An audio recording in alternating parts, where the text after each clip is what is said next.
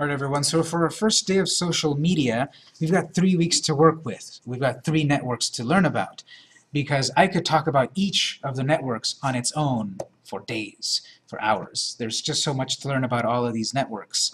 We have three and a half hours per day, and we'll be, we'll be focusing on one network at a time. So the three that we're going to focus on this part of the class is uh, Google+, Twitter, and Facebook. Go ahead and open up your web browser. We've got all the popular ones down here.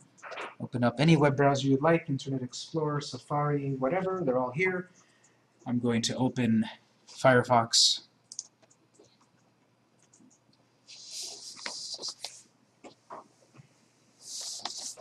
Open your web browser, and let's go to this address, http colon slash slash google.com slash plus, the plus symbol, Mashable, M-A-S-H-A-B-L-E, Mashable, google.com slash plus Mashable.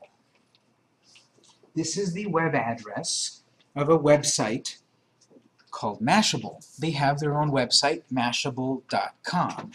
Make a note that mashable.com is a great website that you should be looking at on a regular basis to keep up with social media, technology, etc. Mashable.com.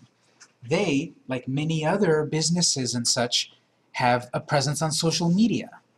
Because if you take my search engine optimization class, one of the things we talk about in there is in order to be found by Google, Yahoo, Bing, the search engines, in order to be found by the search engines, you need to be, you need to have a, a strong online presence. It's sort of a catch-22. How do I get found by a search engine? Well, have an online presence. How do I build an online presence? Get found by the search engines. Well, social media helps you break that loop because social media helps you create content that the search engines find.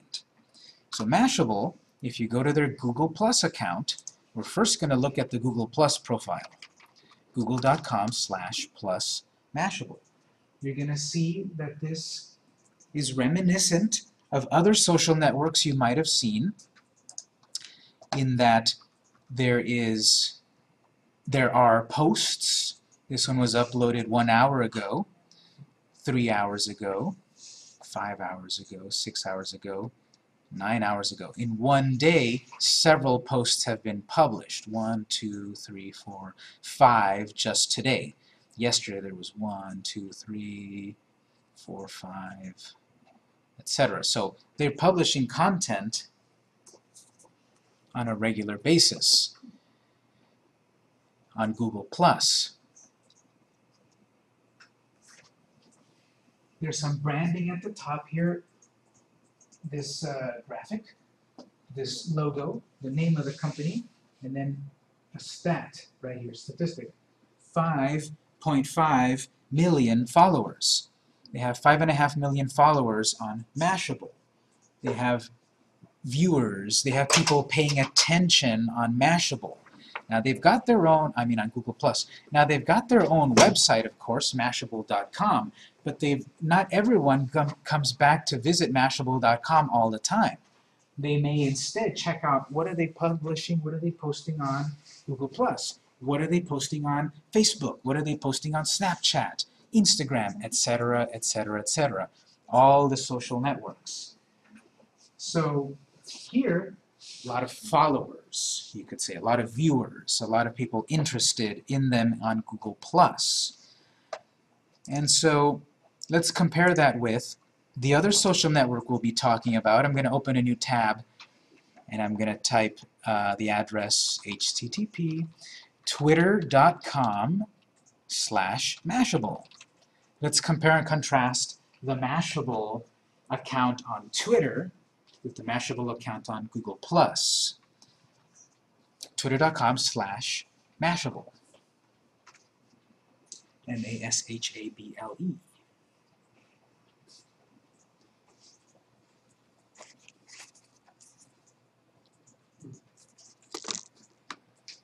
Let's see here, twitter.com slash Mashable. It's going to load up their profile graphics to brand it, a little bit of explanatory text on the left.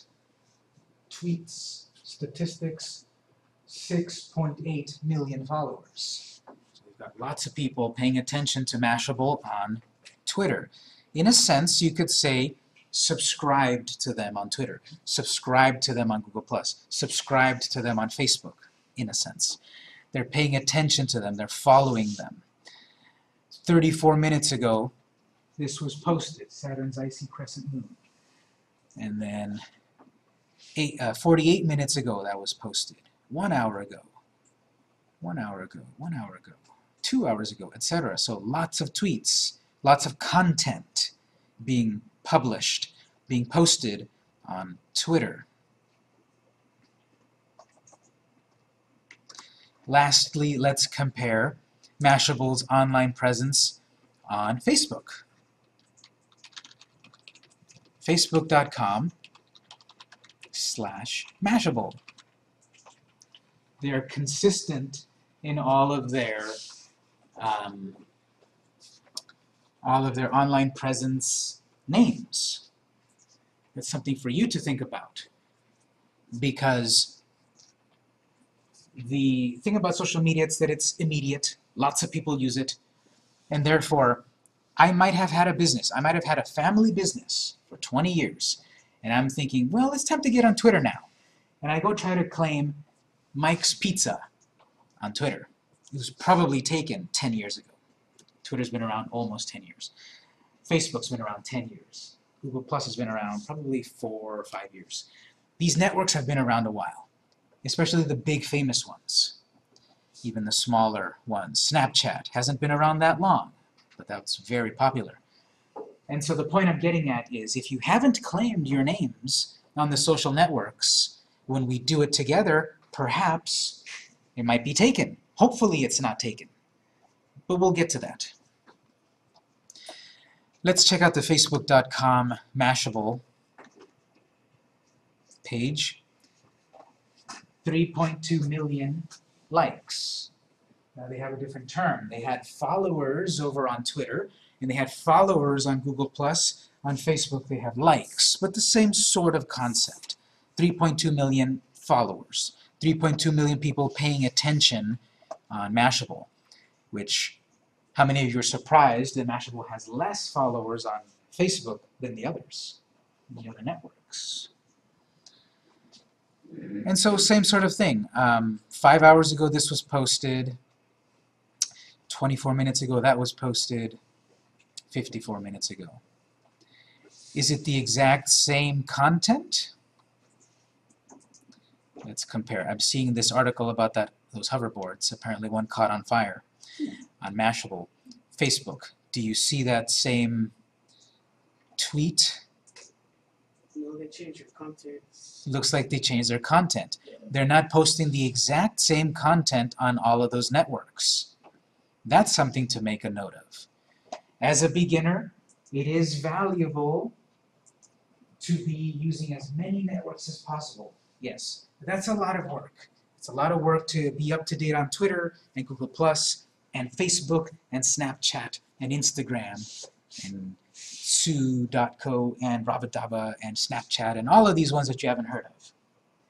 It's useful to be active on all of them because that's how you build this presence that the search engines can find and therefore rank you well when someone searches pizza in San Diego. Maybe Mike's Pizza has been around a while, but they're not very active on Google Plus or Twitter and such. But I am. Every day I'm posting something about my Mike's Pizza, and perhaps that will then help me to get found compared to my competitor because they're not active on social media. So that's the big idea about social media for business. You're going to use social media as a marketing tool, as an advertising tool, as a tool to get more attention and followers and traffic. That's the big idea of using social media. And so in this class in three weeks, we'll be talking about these three networks, how to set up the accounts, how to um, use them effectively, how to get followers, how to get traffic, and such.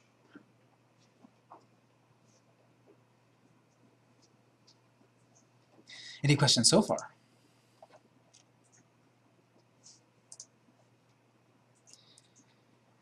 Okay, so the network we're going to talk about today uh, first is Google+. Plus. Um, let's raise our hands. How many of you have heard of Facebook before today? Trick question. Everyone has, right? How many of you have heard of uh, Twitter before today? Okay. How many of you have heard of Google Plus before today? Most people. Google Plus is the newer of the three networks. I believe it debuted in 2012. We can look it up, but I believe it debuted in 2012. And Google Plus has traditionally been very integrated with Google Search, the biggest search engine in the world. So when someone is on Google searching, or not even consciously on Google, but just searching, the content on Google Plus could show up oh, and take precedence over the other competing networks. Um, Google searches, even though they deny it, cynically, you have to believe Google plus content could take precedence over Facebook content, simply because they are rival networks, they are um, owned by different companies, the Google company, the Facebook company. And so if we set up Google Plus and our competitor doesn't, we might have an advantage. They may be on Twitter and Facebook, but they're never on Google Plus. And so if we're on Google Plus and our competitor is not, that could give us an advantage. So we'll be talking about setting up an account on Google Plus right now. The other aspect of setting up, the other reason why we might set up a Google Plus account is that's also tied to the Google Local. Have you ever searched on Google or on your phone and you're searching for pizza? And then on your phone it's pretty useful because your phone has your GPS and therefore when you search pizza it's not going to give you a result of New York, it's going to give you a result of San Diego or wherever you're at. Well, that result that shows up may be coming from a Google Plus account. So that's another reason for us to set up a Google Plus profile. I think that one's going to be okay. That I think that one's going to be okay if, if I think that one's going to be okay if you do sit there, ma'am. It's it's going to be okay. I think. Go, go ahead and have a seat, please. Um, so that's where we want to set up a um, Google Plus account. Uh, it's tied to Google Search, it's tied to Google Local, and so forth. So what we'll do is, let's go to this web address. Let's go to http colon slash slash plus dot google dot com. This is the login screen. How many of you currently have a Gmail email address? Okay, if you have a Gmail address, we'll be able to access Google Plus really fast because it's all tied together. Google Search, Gmail, Google Plus, YouTube, it's all the same company. So we'll be able to log in with your Gmail. If you don't have Gmail, that's okay. We'll be able to create an account for free and access this. So let's go to plus.google.com. You might get something about featured collections. Just click Let's Go. As we set up the profile and use it and such, we'll talk about various aspects. Collections is a very cool feature that Google Plus has that the other networks don't, which as we'll see later is a way for us to get more followers, traffic, and so forth. The other networks don't have something like this. But we'll get to what that is later. On the top right corner, go ahead and click Sign In. One account, all of Google, sign in with your Google account. So if you've got a Gmail account, we're going to use that. If you don't have one, you can create one. If you've already got a Gmail, but you say, I don't want to mix my personal Gmail with my business Gmail, that's fine. Then you can create a new account for business. But before you do that, one thing about Google is that you can have a personal or business profile. They can both be tied together to one login for convenience, or you can separate them. So you just have to decide, are you gonna use your existing Gmail address or create a new one? We're gonna take a moment, maybe one or two minutes or so. You either log in or create an account. Try this on your own. And once we proceed after the screen, I'll show you the rest. So let's take a moment, everyone should try to log in. See how it goes.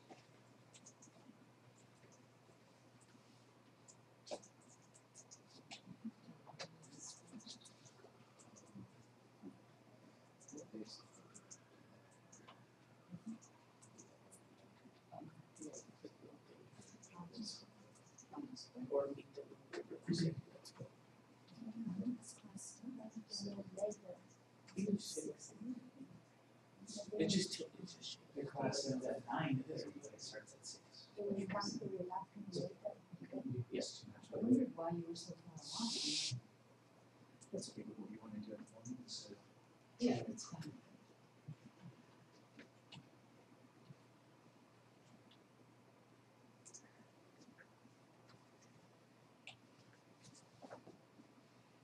try to log in or create the account. It might ask you a question perhaps about update or upgrading your account. You can do that if you'd like.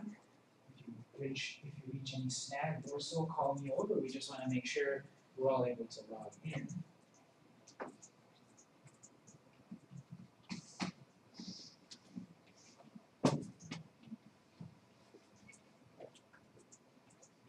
What you want to do here is go to plus dot google dot com. Okay, so it just, can I just get it from gmail.com or? Sure. Since they're all connected, we should be able to do that, so we'll just. And going to account, one account? Oh, the same thing. Yes. So it's just-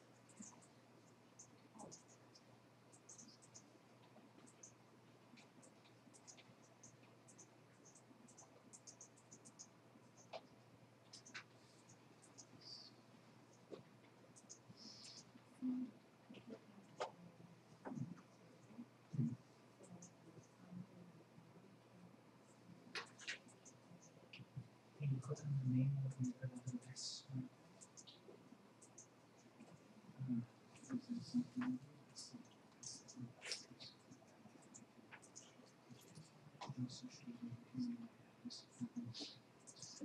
You could tell them that this Talk about the difference between personal and business accounts. And they're show, and then shows you how to do it too, and then Personal and business accounts, because we talk about the topics. Yeah, you're seeing you do work. For work.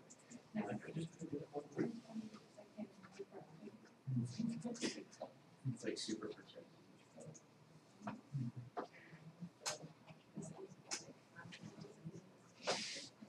How to Well, protect that's what I'm trying to talk about, so I, I would just say for the moment, let's stay on this screen here.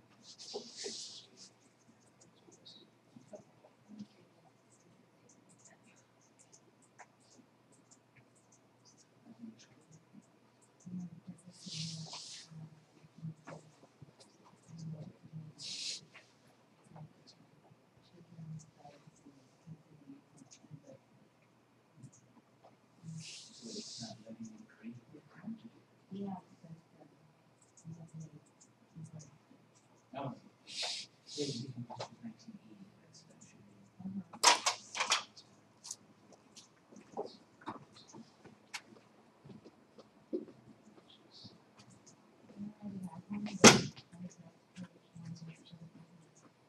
That's right, suppose this was back to you, is it remember your history,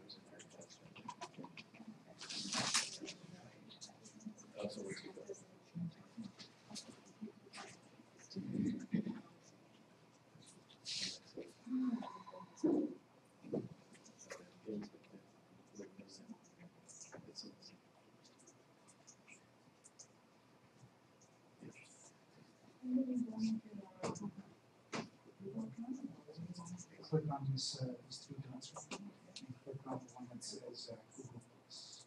And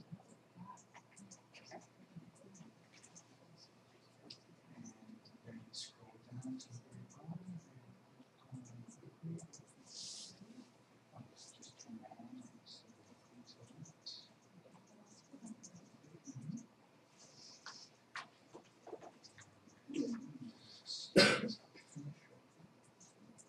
And just continue anyway.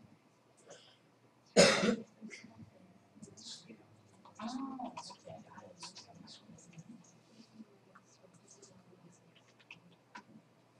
This is, um, under the lighting. Just have to wait on that. Very sad.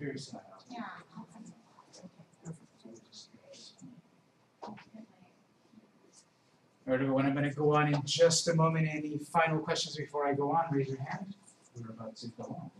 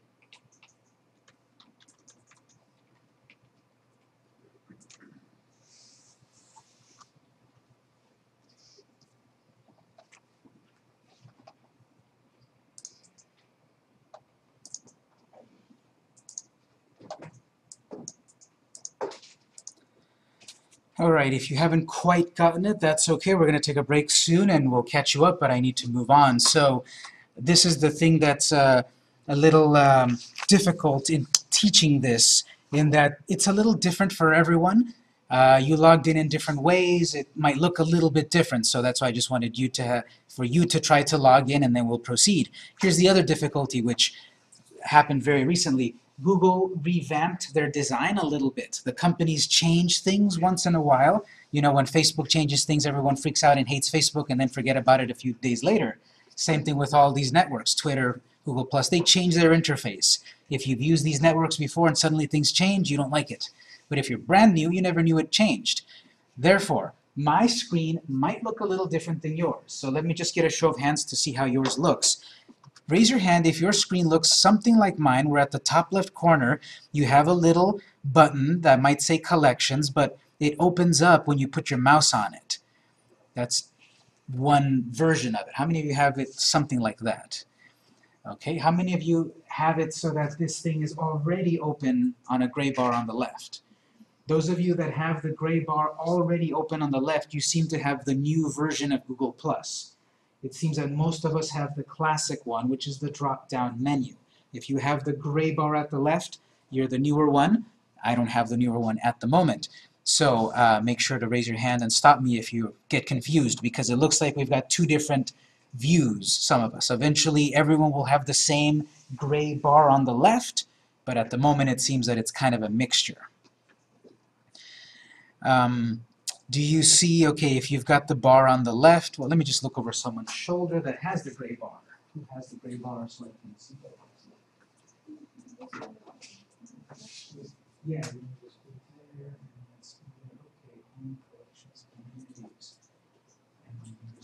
okay. So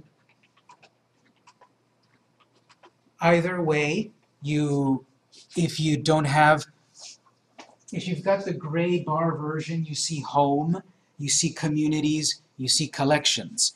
My version uh, has the drop down button, and if you put your mouse on the drop down, then it pops open, put your mouse on it, and then you'll see home, collections, communities, etc. So is everyone sort of seeing that? So we'll be exploring the the different aspects of Google Plus and the most important aspects for business purposes in a moment, but I want to touch on a very important concept.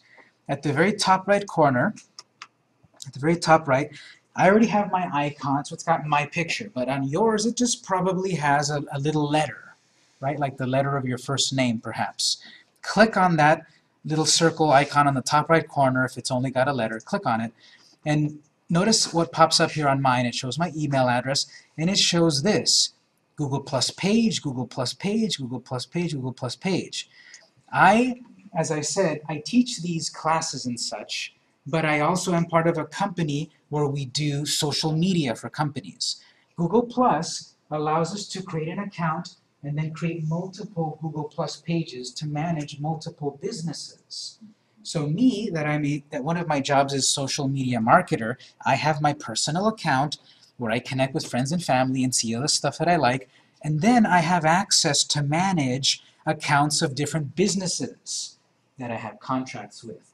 So these that say Google Plus page are business pages. When I logged in a moment ago, probably when you logged in, you have your Google Plus profile. Profile and page is technically different. It's a personal profile and a business page. On yours, you probably don't have any business pages yet. That's what we're going to talk about because you don't need to use Google Plus as a personal profile. You probably don't want to. That's what Facebook is for, perhaps. We're going to use Google Plus for business. So at the top right corner is where you can switch between your accounts. If you've already got business pages you created, that's how you access them. You click on your personal icon and then you click your business page and then you go off to manage it and work on it. But if you're brand new, you don't have any pages yet. Let's talk about creating a page. Do you see a button that says uh, add your Google Plus pages? Does everyone see that? No? Add account. Add account. Hmm. Let me see. Don't click on that yet. What does an add account do? Um, no, I don't think that's going to be it. Okay, what about on the top left menu? If you hover over the menu there, do you see pages? Yes. No. Not on the gray one. Okay, if you do see pages, click on pages. We'll be there in a moment. If you have the gray interface, where do we have pages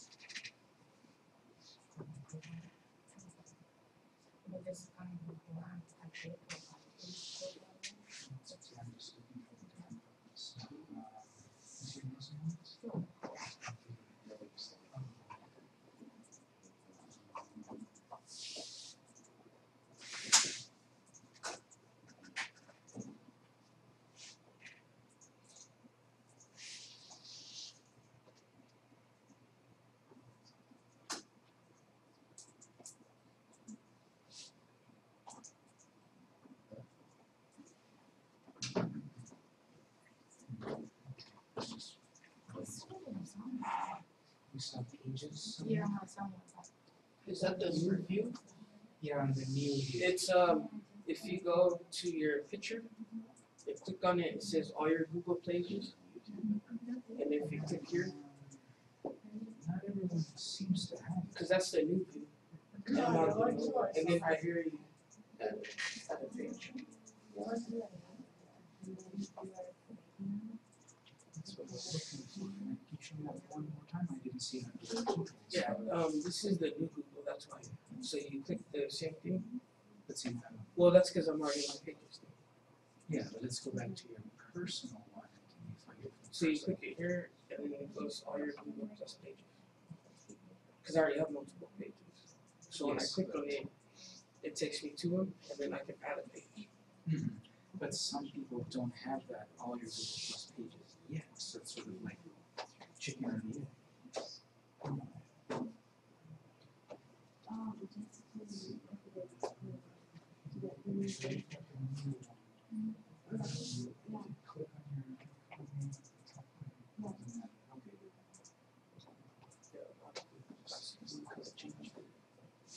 All right, so this, uh, I wish I had a better answer for you. This is what happens when big uh, corporations change, right? We, uh, we suffer. But um, the, the thing is that some of you have, on the top right corner of your icon, you have all my pages. Some of you don't. I'm gonna, we're gonna take a break in a moment so I can, so I can look that up. Because it looks like it'll say all your pages if you've created a page. But how can I create a page until I have that icon? So I have to look that up in a moment. If you don't have an icon like this, just pay attention for a moment and, and take notes, and then we'll take a break in a moment, and I'll figure out what to do here in a moment. My point is that if you do have the button that says all your Google Plus pages, click on that,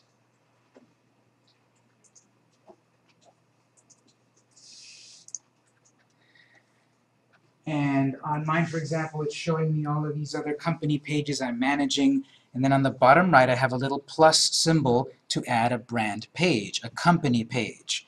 So if you do have this, go ahead and click on it. If you don't, just wait a moment. We'll figure it out. But click on the plus, add a brand page.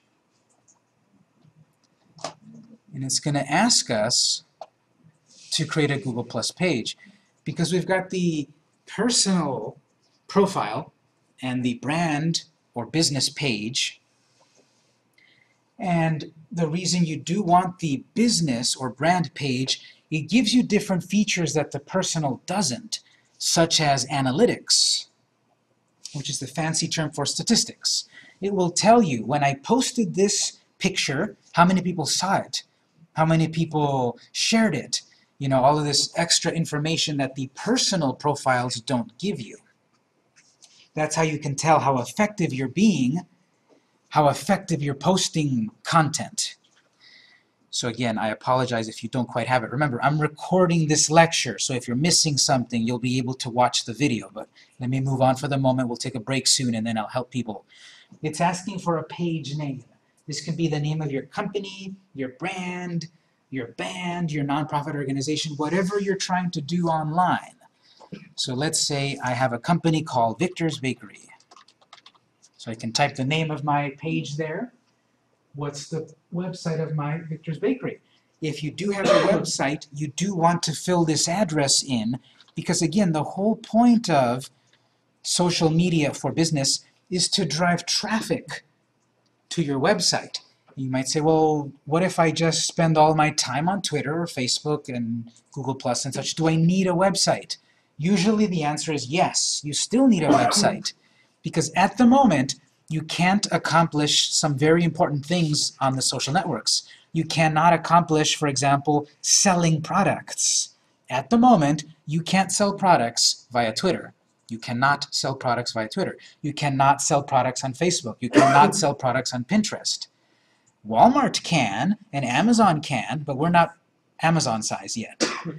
So for the moment, the little person cannot sell products on social media. You have to sell on your website, or on Etsy or eBay or whatever. The point is, I still think most people, uh, most use cases are that you will still need a website because that's where you're going to build your inventory, your checkout system, your subscription system, your newsletter, etc. You're going to use these networks as advertising, as marketing to get traffic. If you don't have a website, take my class on how to make websites. Type of page. Is this a product or brand? Is it for entertainment? Is it a community or other? Not too many to choose from, but you should be able to choose whatever works. I'm going to go with product or brand. Victor's Bakery.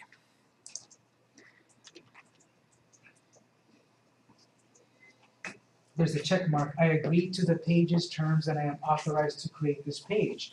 This is saying that you are able to make changes to this content, that you do have access to it. So go ahead and click Create Page.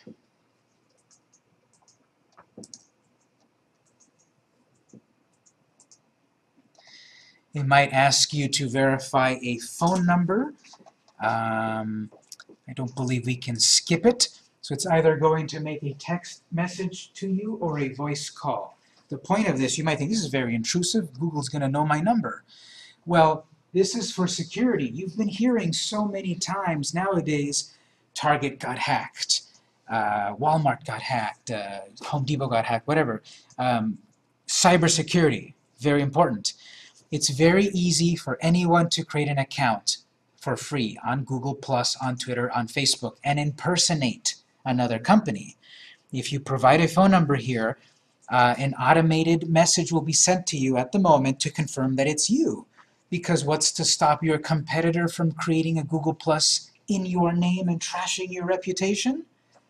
This, that it's going to go to your official phone number. I have a question. What Yes. about, uh, sometimes they say if you set up this, you know, computer is trust the computer, so you don't have to put on a telephone number. It's the same thing? That- If you click it as a, you know, trust the computer instead of text messaging? That's related to it, but not exactly. Here it's asking for the phone Oh, number to, co- to create the account. The other is to log in. Um, so go ahead then and put a phone number here. And actually what we'll do is we'll, we'll take a break just to make sure we're, we've got this done. Again, this is always the big speed bump in this class, creating the accounts. And then when it's created, we'll, we'll see how to use them. So let's take a break, try to finish creating this. Uh, step outside if you need to, the reception here is often terrible. Uh, and we'll take a 10 minute break. It's about 7.05. We'll be back at 7.15. Try to create the account, call me over if you have any trouble, and then we'll proceed.